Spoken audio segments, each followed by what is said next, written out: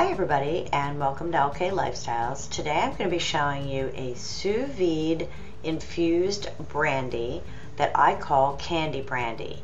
It's made with brandy and some simple sweet ingredients and it's a great liqueur that I like to sip on.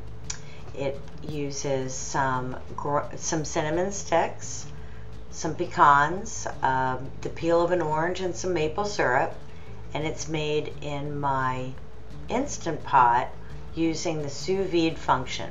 And since that takes a while to get going, the first thing I'm going to do is show you that I put about two-thirds of the way full water and put the lid back on and push the sous vide function on my Instant Pot Duo Crisp and Air Fryer for 2 hours and 30 minutes at 132 degrees Fahrenheit.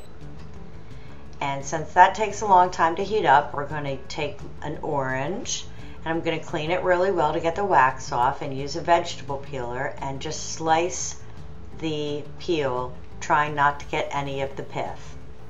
And I'm going to put that into my mason jar with a cinnamon stick that you can break if you want to, but you really don't have to. And I'm going to put that in with two tablespoons of maple syrup.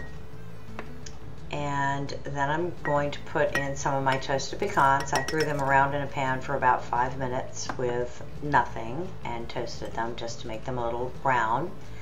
And then I'm just going to top it off with brandy. And you can use any brandy that you want, not flavored brandy, just regular brandy that you buy at the store hopefully on sale. I got mine for $9.99 for this Christian Brothers brandy. And there's even some left over for me. So after I put everything in, I'm going to give it a quick stir. And I'm going to put the lid on my mason jar.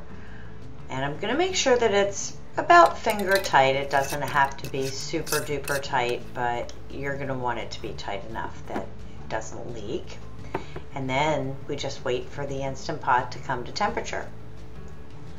When it does come to temperature, you're just going to take the lid off and you're going to stick your mason jar right into the water. And it will displace the water just a little bit. Fit that lid right back on and let it sit for about two and a half hours. When all is said and done, you're just going to pull your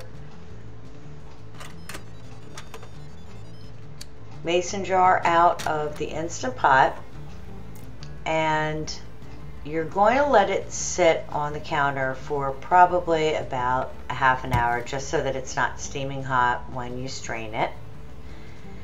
And then when you do strain it, I want you to make sure that you save the nuts. Yep, I said it, save the nuts because they taste like fruitcake and they have alcohol in them and there's no sense in wasting them. So I like to put them on the side and just save them and snack on them. Quite a little tasty. They're a little soft. And then I strain my candy brandy into one of these handy dandy little 16 ounce glass bottles that I have and I love using these bottles. You can sterilize them first if you have to. You can see in the background I have one that I make my orange tequila in. And this will be a little bit more than 16 ounces, so of course I'm not going to throw the rest out. I'll save it and drink it. And I do like to label my bottle, and I keep this in the refrigerator. It can last in the refrigerator for months.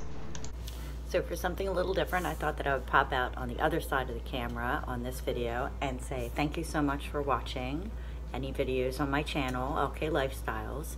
If you like this video and you want to see more paleo videos, please hop on over and subscribe.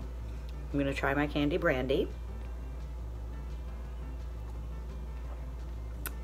absolutely delicious. It um, It's sweet, but you still taste the alcohol in it. I serve this over ice. I usually keep it chilled Sometimes I actually pour it over ice cream. Um, and if you like this, let me know in the comments below. I take requests. Thanks for watching.